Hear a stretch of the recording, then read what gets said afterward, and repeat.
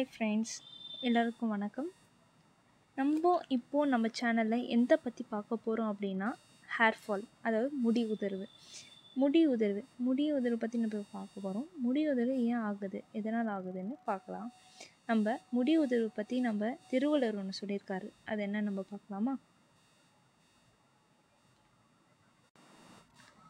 தலையின் இழிந்த மயிரணையை மாந்தர் நிலையின் இழிந்த கடை. குரல் தொள்ளாயிரத்தி அறுபத்தி நாலு. இந்த குரலுடைய விளக்கம் என்னன்னு பார்த்தீங்கன்னா நம்மளுடைய தலைமுடி இருக்கிறது நம்ம பரமசிவன் இருக்கார்ல கடவுள் பரமசிவனுடைய கழுத்தில் வந்து பாம்பு போல் அதே மாதிரி தான் நம்ம தலைமுடியும் பாம்பு போல் நல்ல நீளமாக இருக்கும் அப்படின்றாங்க. இந்த தலைமுடியை வந்து நம்ம தலையில் இருக்கிறவங்க தான் நம்ம எல்லோரும் மதிப்பாங்க. தலையில் இருக்கிற அதோட மதிப்பும் கூட.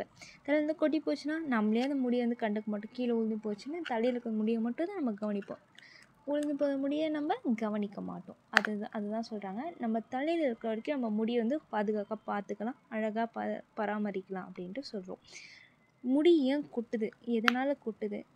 அதுக்கு நம்ம என்ன பண்ணலாம் அப்படின்ட்டு பார்ட் டூ வீடியோவில் போடுறேன். உங்களோட விடைபெறுறது உஷ்விராமி டாடா பாய் பாய்.